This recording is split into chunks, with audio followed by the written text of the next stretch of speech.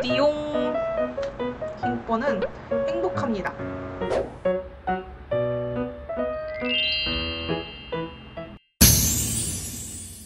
안녕하세요 김뽀입니다. 오늘은 심지의 플럼 밤을 만들어 보도록 하겠습니다.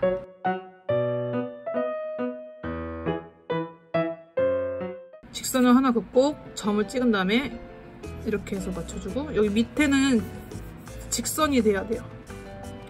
그러니까 여기 선을 맞추고 이렇게 또 높이는 높이는 원하시는 만큼 지정을 해주시면 되거든요. 근데 플럼밤이 좀 약간 길기 때문에 길게 맞춰주시면 될 것 같아요.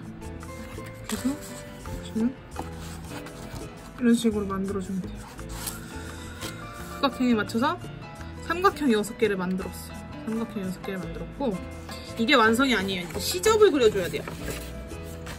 이게 저들은 이렇게 삼각형이 있고 이렇게 삼각형이 있고 시접을 이렇게 만들어준 거예요. 이건 접는 선?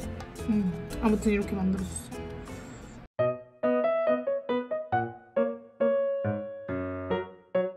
이렇게 잘랐습니다. 뭘 하지 않아도 잘 접히네요. 그려놓은 게 있어서. 자, 그럼 이렇게 양면 테이프를 붙여줄게요. 양면 테이프를 이렇게 한쪽 면에만 이렇게 붙여줄게요. 한쪽 면에만. 똥이 됐어요, 똥. 똥. 이렇게 플럼밤을 붙였어요.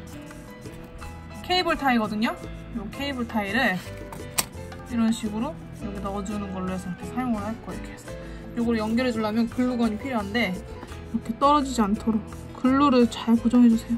글루로 여기를 고정해주는데 좀 깔끔하게 붙이지는 않았죠? 자 이렇게 완성이 됐어요. 무거워서 고정이 잘 안 돼요.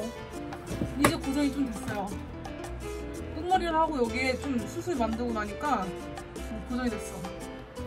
플럼밤입니다. 고정됐어. 머리에 이제 고정이 된 것 같아. 플럼밤인데요. 세로로 찍었습니다. 이게 가로로는 담을 수가 없어서. 아, 완전 웃겨. 머리 풀고 다니고 싶은데 이게 고정이 안 돼서 무거워서 고정이 잘 안 돼요. 좀 작게 만들까 다음에는? 이렇게 해서. 머리가 엉망이다.